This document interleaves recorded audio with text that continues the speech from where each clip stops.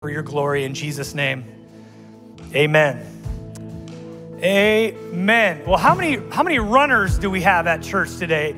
Raise your hand if you are a runner. You love to run. In fact, this morning you just ran three miles. Okay. okay. Uh, let me ask you another. Who doesn't like to run? Raise your hand. Okay. Yep. I'm with you. I'm with you. I'm with you. I have two hands up. I I actually hate running.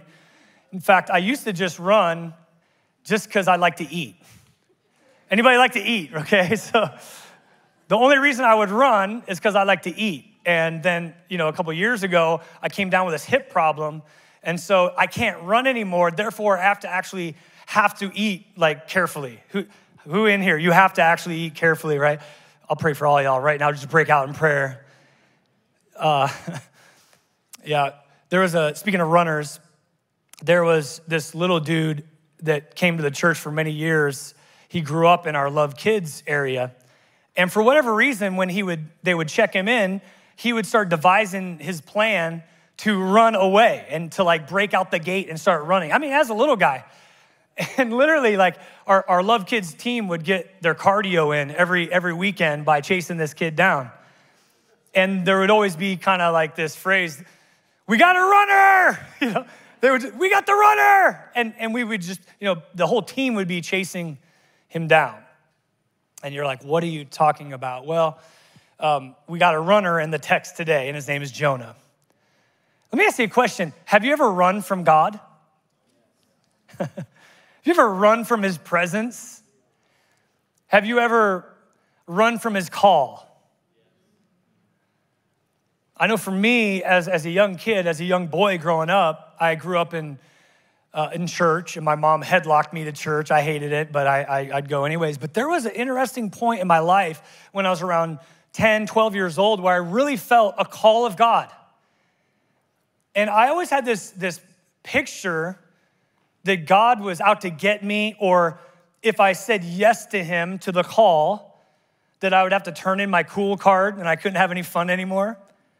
And so, if I'm really honest with you, I ran from the call of God for many years. Last night they had the Heisman Trophy. Anybody watch it? It was like that was kind of a picture of me with God, you know, just giving God the stiff arm for many years. Not knowing all along that, man, He was a God who wanted to bless me.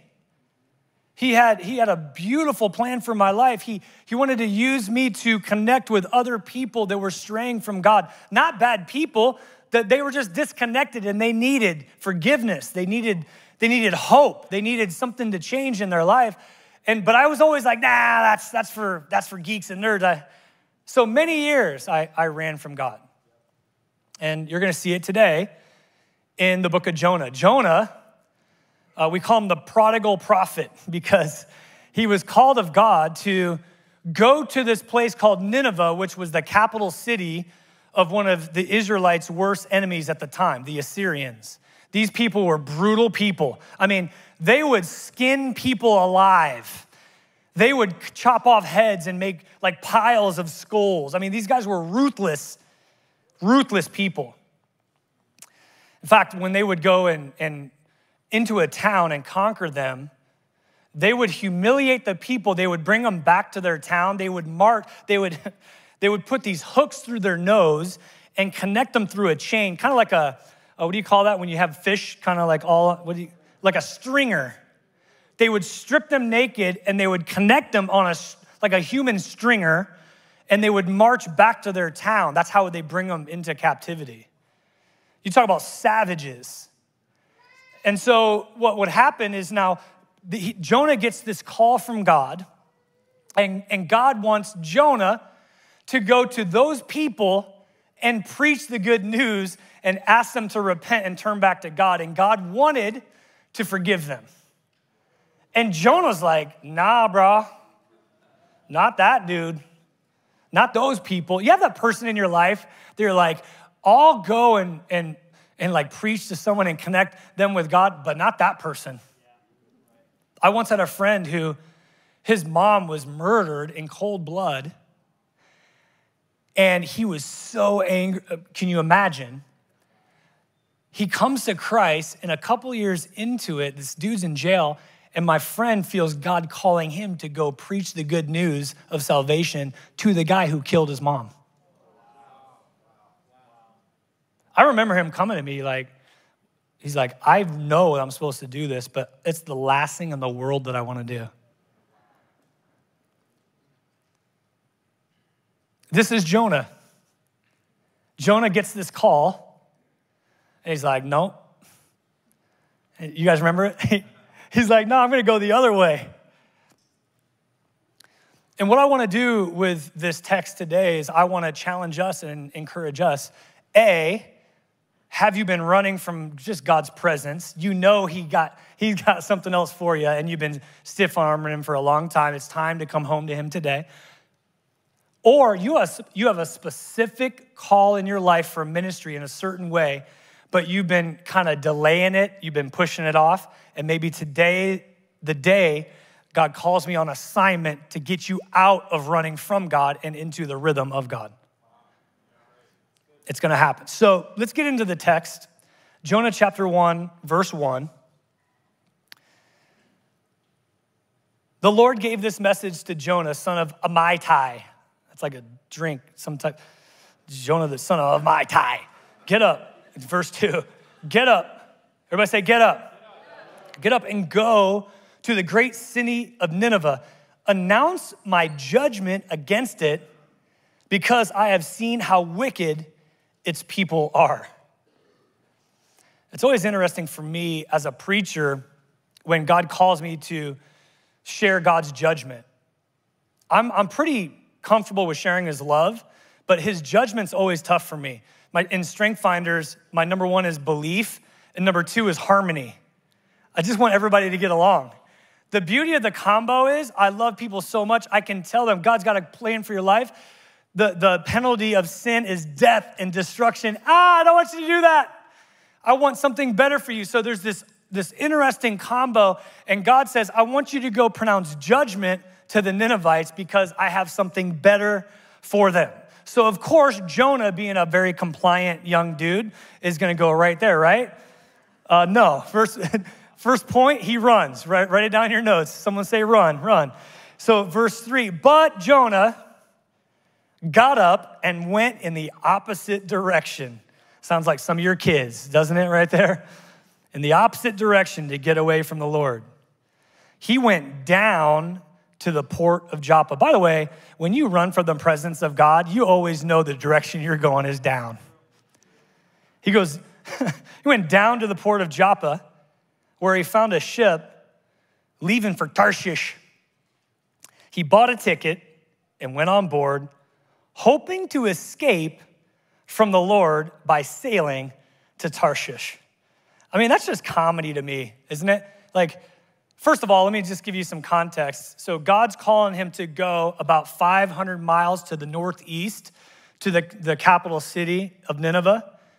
He ends up going literally the opposite way, he buys a ticket to go 2,000 miles west to like the, the end of the known world at the time in Spain. Anybody here like humble enough to admit, like, you know God's called you to, to something different, but you're turning and going the opposite direction? You're like, no, bro, I'm gonna go as far away from God as possible. And he runs and he goes the complete opposite way. It said that he bought a ticket. How many, how many have bought a ticket and going away from God, it's actually cost you quite a bit? it's always interesting to me how sin is exciting, like going away from God. It's exciting in the moment, but it's expensive in the long run. And, and, and he's trying to get our attention, going the opposite direction. It gives me a lot of peace that a lot of phenomenal people in the Bible did the same thing, not just Jonah.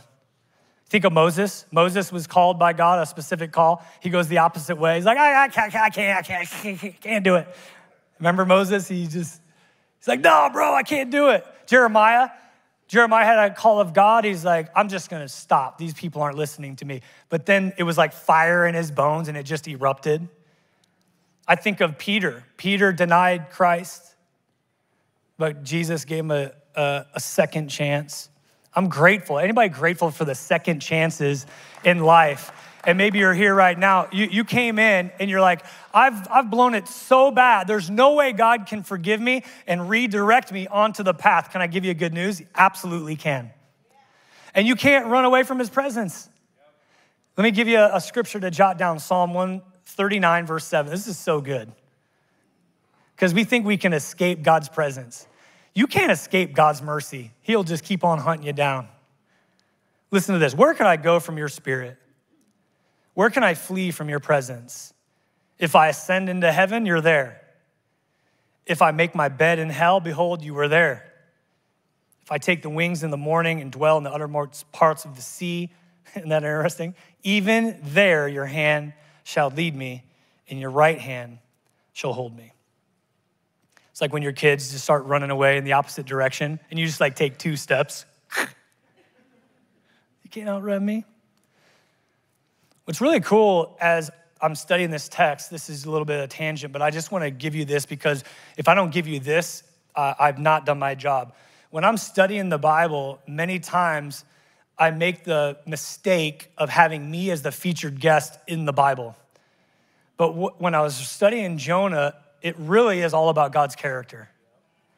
And, and if, if you don't get anything else from this Bible study, know this God is merciful.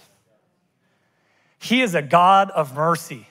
And you see it with Jonah. I'm, I'm like reading it, I'm like, if I asked Jonah to do it and he went the other way, I'd be like, all right, bro, go ahead. I'll, I'll find the next person. I wouldn't waste my time trying to chase him down. But how many of you know God's merciful? And he's also sovereign. God, for whatever reason, chose Jonah out of anybody else. He chose him. God is sovereign. He's, he's above all, He knows all, and He is in control. Even in your worst days, in your worst seasons, in my worst seasons, He's sovereign and He's merciful. So He tries to run, He tries to get away from the presence of God. So God's gonna help kind of bring him back in. Listen to verse 4. But the Lord hurled a powerful wind over the sea, causing a violent storm that threatened to break the ship apart. Fearing for their lives, the desperate sailors shouted to their gods. Who do you shout for when you're in, in, the, in a storm? They're, they're shouting to their gods for help and threw the cargo overboard to lighten the ship. But all this time, Jonah was sound asleep down in the hold. oh my goodness, a couple things. Number one, God's merciful, and sometimes He'll send a storm to get our attention, and that is actually mercy. Sometimes we, we, we, we don't understand some of the painful times and pressing seasons of our life is actually the mercy of God to get our attention. These seasons are painful, they're uncomfortable, but under the sovereign mercy of God, it's actually His handiwork to redirect us onto the right path even in the middle of our stubbornness. And he was asleep. I don't know how many times I, in that 10 to 12 years of running from God, I would try to numb myself. That's what I see Jonah doing. He knows he's going the wrong way, but he's like, I'm gonna do whatever I can to not hear the voice of God. I'm gonna go down, down, down. You ever do that? And like, you know God's calling you, but you're like, la, la, la, la, la, la, la, like you're just numbing yourself so you, you don't hear the voice of God. I feel like that's exactly what he was doing right there. He's down, asleep. This is what I find interesting. When we run from God, we don't just make it hard on ourselves, but also innocent bystanders too. He's running from God. It's these guys running the ship. They didn't do anything wrong. But because they're connected with him, they're experiencing this. And so they cast lots to find out who was the culprit. Of course, they figure out it's poor Jonah. Look at verse 10 now. Skip to verse 10. The sailors were terrified when they heard this. For he had already told them that he was what? That he was running away from the Lord. And then listen to this is a fascinating question. Listen to what they asked Jonah. Oh, why did you do it? They groaned. Come on, bro, why'd you do it? And I was studying that and I just stopped. First of all, Jonah gives the response in chapter four. Let me just give you, I'm gonna spoil alert the rest of the story. Jonah gets redirected. He ends up going to Nineveh. He, he shares like a four word message, like turn or burn, basically. And the entire city, it's the biggest revival ever recorded, known to man. The entire city repents and there's revival that breaks out. And you'd think that the prophet would be stoked about it. He's actually mad. I'll show it to you, verse, chapter 4, verse 2. So he complained to the Lord. This is after the revival. He complained to the Lord about it. Didn't I say before I left home that you would do this, Lord? That's why I ran away. That's the why. That's why I ran to Tarshish. I knew that you are merciful. Check this out. This is the, this is the God of the Old Testament church. Listen to this. You're merciful and compassionate God, slow to get angry, and filled with unfailing love. You're eager to turn back from destroying people. How about that? He, the reason he didn't want to go is because he knew they'd get saved. That blows my mind. And I was just thinking about this, like, and I will ask you the question that I felt God asking me. Why did you stiff arm God? Why do you run at times from the call of God? And there's several reasons. Uh, let me just give you a couple of them, and then let me dial into a couple that I, th- I think are key.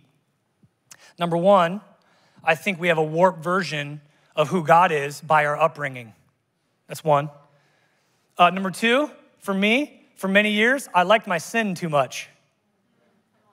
If I was really just dead honest with you, I knew what God's word said about sex, but it felt really good outside of marriage. I'm gonna do my own thing. That's just real. I was fearful of what it would require. How about this? I, I didn't want to give up control and I wanted to be comfortable. Anybody else? But let me zone in on the one that I think could be key to helping us stop running away from God and running to God. And this is crucial. How many, let me ask you a question. How many actually grew up in church? Just raise your hand real quick. Let me get a picture, okay? When, when you grew up, I, here's what I think. I think a lot of us get our picture of God by our earthly father. And this is, again, not to condemn earthly fathers, we're all in process. But, but let me ask you a question. How do you, how did, when you were growing up in church, how did you picture God? Did you, maybe, let me, I'm just gonna, I'm gonna do some acting real quick. Y'all ready? Okay, so did you picture God like,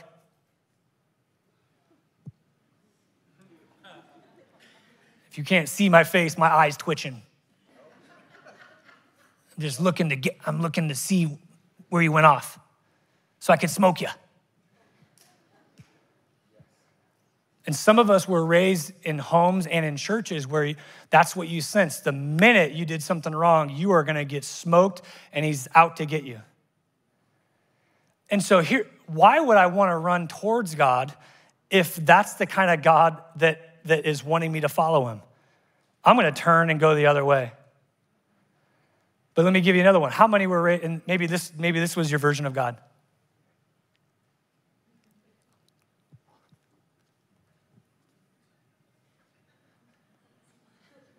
Isn't that a different environment? It's like, oh, dude, I know you can do it. Oh, you're, you're off a bit. Let me, come on, man, there's something better. I got you, bro, I got you. And, and you see like a warm embrace, you see a smile, you see encouragement, you see arms wide open to give a hug. To me, that is a completely different God right there who I want to run from or run towards. And I'm wondering where you're at. I'm wondering if you were fed the lie that I had for so many years, he's out to get you. He's not out to get you, he's out to give you something, a completely different life. And then specifically, I'll just be honest with you as well. I'm just, can I be honest? I, I want to, that's kind of the way I like to do things. Well, in this season of my life, after how many years, we feel called to plant another location in North Omaha. And on one end, I'm so stinking stoked, man, because like my heart, uh, I grew up in locker rooms. There's a connection with some people in North Omaha that I know I'm called because most often when I'm leaving, I'm crying. How many know when you're crying, you're called? You, you have a passion and a care in your heart that's from God. You have the heart of the Father. You know you're called. But can I tell you, it's not going to be easy. And so there's this interesting, like, God's like, go to the Ninevites, go to North Omaha. Not that the North, North Omaha are Ninevites, I'm not saying that. They're not savages. Like, hey, man, we all got our issues, right? But there's this call, and, and it's weird because on one end, I'm like, I want to obey God. On the other hand, I'm like, that's not going to be comfortable. And God gave me a picture of this. We, we always go to the mountains every um, Thanksgiving, and we walk the mountain. And most often when we walk the mountain, it's a, I mean, it's a pretty big hike, and we go, there's like a fork in the road up the mountain, we go left, and it's, it's still pretty challenging. You get to the top eventually, but it's still a nice, you're breathing, but not too crazy. And, and for the three first days, we went to the left. And then the fourth day, we get to the fork in the road, and to the right, you just gotta know, it's like straight up the mountain. And you talk about glutes on fire, you're like breathing heavy. And my wife looks at me, she's like, hey, I think we should go the right way this time. I was like, uh, I don't think I heard that at all. I'm on vacation right now. and uh, I followed the Holy Spirit, I mean, my wife, right? And we, and dude, I'm telling you, like you're walking and just, I mean, your legs are fried by the time, but when you get up there, you're like, oh, I'm so glad I went up that way. We got up there quicker, a lot quicker than I wanted to, but it was beautiful. And I felt God was saying, hey, hey, that's where you're at. You're at a fork in the road there, Pastor. What do you want to do? You want to just keep on going this way? It's going to still be challenging? Or do you want to go straight up and get real uncomfortable right now? And I think that there's some times in life where God's calling us, just like Jonah, to get super uncomfortable. We're like, I don't know about that. That's what's happening. This storm's chaotic. And he feels bad for the poor sailors because they're getting thrown under the bus because of his disobedience. So, verse 12, he says this Throw me into the sea, Jonah said, and it'll become calm again. I know that this terrible storm is all my fault. I, I kind of like his humility there. Like, I mean, that's pretty, that's pretty gnarly. Just throw me overboard. I know I'm going to die, but you guys will live. Just, just chuck me. But the dudes are so noble. They're like, uh, I don't want to do that. Let's just row as hard as we can to get back to the land. So now we can drop you off so we're not in this storm anymore. You'll survive. We'll survive. It'll all be good. But they rode harder and harder, but God kind of rode harder and harder with the storm, so they couldn't do it. And I was, I just want to say this sometimes we're noble like these guys, trying to get someone in your life to the land. Maybe it's actually God's plan that they're making them super comfortable, huh, parents? Not bailing your kids out. Maybe they need to get in the storm a little bit.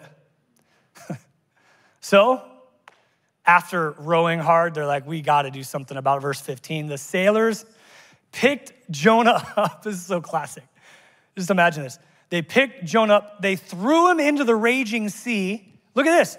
And the storm stopped at once. I was reading this and I, I just, I gotta share this with someone. I really sense the Spirit speak to someone. Be careful who you let board your boat. You're wondering why your life is chaotic right now? Could it be you got a Jonah in the boat? Specifically, someone's, someone here, and I hope you take this in grace, but God's saying, throw the boyfriend out of the boat into the sea and watch your life just remain calm all of a sudden. You're like, ah, I don't know what's gonna happen here. Hey, maybe it's just a step of faith and do it in a tactful way. Don't be like, I went to church and I'm a legalistic Christian and I'm sweet, so get out of the boat there, buddy. I'm not saying that. But isn't there something about that? How about you're leading a staff, you're leading a business, a team, and you got the person you love them so much and you want to keep them on the team, but they come to your meetings late. And when they show up, and mm, what you got to say to me? I would lead it better than you. Maybe you need to boot them off the boat. Maybe that's the most loving thing you can do because they're going to be like, oh my goodness. And all of a sudden, your business is calm all of a sudden the organization has peace again and chemistry again. So they chuck him overboard. Of course, his life's done, right? Nope. Why? Because of God's sovereign mercy. Verse 17, number two, rescue. Watch this. Now the Lord had arranged, that hit me, for a great fish. The, the word in the Hebrew is a dag. Dag, dag gum, great fish to swallow Jonah. And Jonah was inside the fish for three days and three nights. A couple things right here, real quick. This super interesting. Do you see the sovereignty of God right there? The Lord arranged the rescue at the right time. How many grateful for the check that came in the mail where you thought you were going down and right at the right time, God released resource and, and bailed you out of a position that was actually your fault? Anybody here willing to admit? I remember getting, I remember getting, someone dropped an envelope with $1,800 of cash way back before we started the church. They spelled my name wrong and put it on the front door, like right by the front door of my house in Fort Lauderdale right at the right time. How many received a call? You were thinking about committing suicide, and someone put on, God put it on someone's shoulder to call you and pray for you at just the right time when you were sinking down, and God sent something to rescue you right at the right time. His sovereignty. Now, let me take a moment, real quick, and say this. Some of you are going, a great fish. Seriously, Pastor? That's just a story in the Bible. That really swallowed him, and he was still cool for three days. And I get it.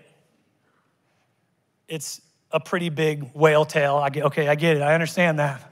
But let me just tell you a couple of reasons why I believe this is to be true. Number one is I believe Genesis 1 1. Genesis 1 1 says this In the beginning, God created the heavens and the earth if I can believe by faith, Genesis 1 1, I have no problem believing the rest of the miracles in the Bible. If he wants to create a whale and supernaturally make sure that this person is okay for three days, I have no problem believing it. Number two, Jesus affirmed it. Do you know? You just jot it down if you're a note taker. Um, Jesus in Matthew 12, verse 40 says this For as Jonah, this is Jesus talking, as Jonah was in the belly of a great fish for three days and three nights, so will the Son of Man be in the heart of the earth for three days and three nights. So I'm just going to take Jesus at his word. He said that Jonah did it. I'm going to believe it. Last thing I would tell you is this has actually miraculously happened in real life. I don't know if you knew this, but in 1891, there was a guy named James Bartley who was not a believer and he was working on a whale ship, and they were going to hunt down whales. And as they were in this area, the one whale tail hit the boat, and him and another dude like fell overboard. One of the dudes drowned and died. The, they thought James had drowned and died too, except for the fact that a couple days later they caught a whale. And as they were slicing the whale up, they found James huddled up in the fetal position in a coma and two weeks later, they, he revived as he was in the captain's quarters. And this is a true documented story. So even, even that, that'd be my third reason why I believe this story. Like James, Jonah is in the belly of the great fish, three days, three nights. And number three, if you're a note taker, he cries out to God finally after three days, which I don't know why it took him so long, and eventually regurgitates the whale regurgitates him. You didn't know I could work regurgitate into a point in the message, did you, Burke? I got it in there. Chapter 2, verse 1 Then Jonah prayed to the Lord, his God, from inside the fish. In chapter 2, I don't have time to, to break it down, but it's interesting because his prayer is super honest with God. And I feel like that's a place where we need to get. I've been running from God I've been running from his presence. I've been running from his call. And now I'm in this predicament, this place, and God's, in his mercy, in his sovereignty, has gotten my attention. And from the depths of the well, after three days, because a lot of us are stubborn, he finally cries out. And I want you to see verse 10. The Lord, then the Lord, after the prayer of repentance, of humility, of, of coming back to God, running back to God, Then the Lord ordered the fish to spit Jonah out onto the beach. Were you reading that and just going, I wonder how that happened? Like, was it like projectile vomit? Like, you know, when your kids are really sick and just, whoa, you know, it's like, ah. I, rem- I remember being in Hawaii one time. I was on the North Shore and there was this dude. I had just gotten there. I didn't know how to surf, boogie board, nothing. And this dude had a boogie board, this local. I'm like, hey, bro, can I roll? And if you go on the North Shore, I mean, these, these waves are huge. In fact, when we were coming in, there was like a gurney with a white sheet, and it was like, only surf if you're a pro. And I'm like, whatever, I'm only gonna be in Hawaii how many times in my life? I'm going. So I grabbed the boogie board, and I'm like, yeah, cool. And I, I caught that first wave, was rolling in. Ah, this is sick, dude. The second one I missed. Like, I was like, oh, I'm dying, I'm dying, I'm dying, I'm, I'm dead, I'm dead. It's like in a washing machine. I'm like on the beach, just like, like looking up, going, oh, thank you, God, you gave me another chance.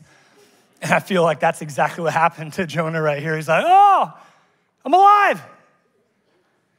And because he was like inside the belly of a, of a great fish, the, the juices in the stomach probably has bleached him, and now he's got seaweed everywhere. And you just picture him like, just walk, just walking out. And then chapter 3, verse 1, look at this. Then the Lord spoke to Jonah a second time. I love second chances. He gets a call from God. He runs away, thrown overboard.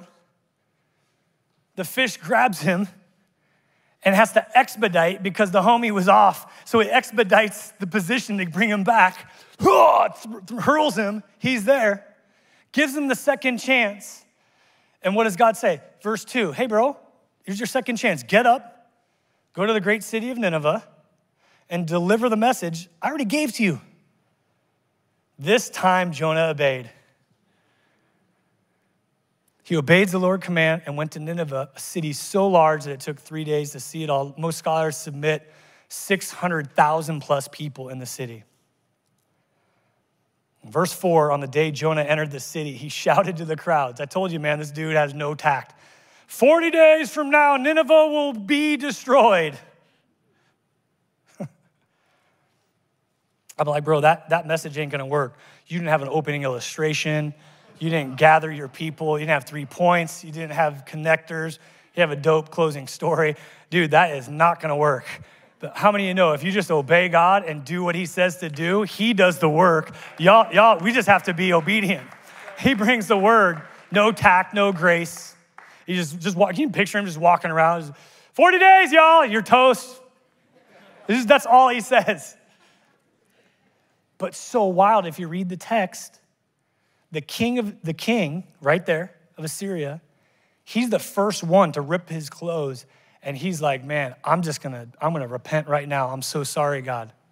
He calls a fast, a corporate fast, the people, the animals. He called the animals to fast. This dude was serious.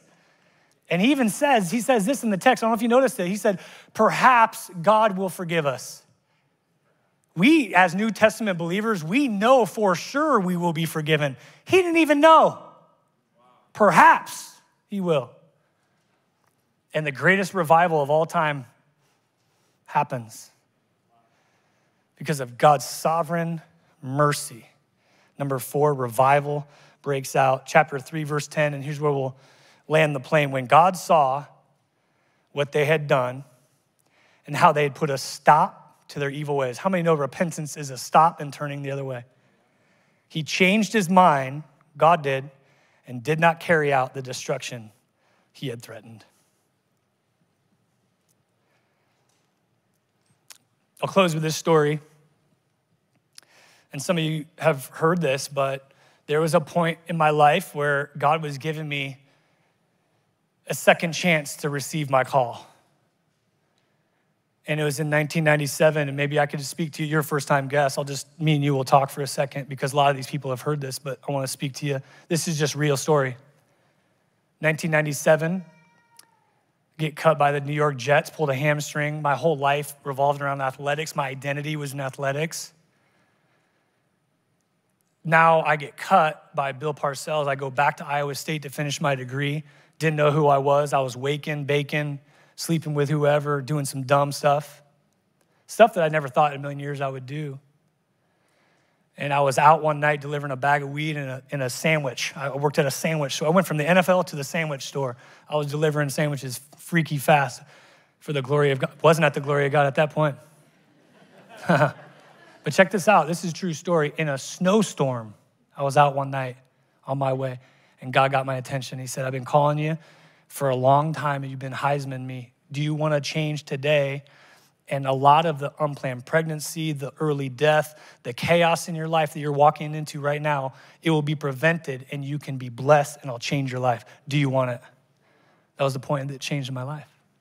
By God's grace, I said yes. And now on mission to continue to see people just like wrecked, messed up Pastor Todd back then receive life and a second chance. Do you want a second chance?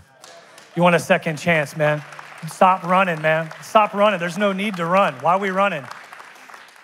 God's, He's not out to bash you, to get something from you. He's out to give you something completely different. Amen. God, thank you for this word. Love Jonah. Such a solid picture of your sovereign mercy. And I pray we'd all be reminded here at church, all of our friends online, of number one, your grace and mercy in our life. Not only to save us and just like this king and all his people just stopped the chaos that would have ensued.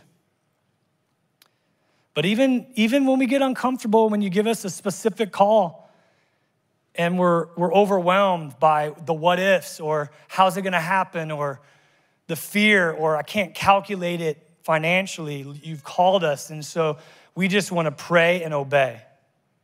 Would you help us with that? In Jesus' name. Before I say amen, I want to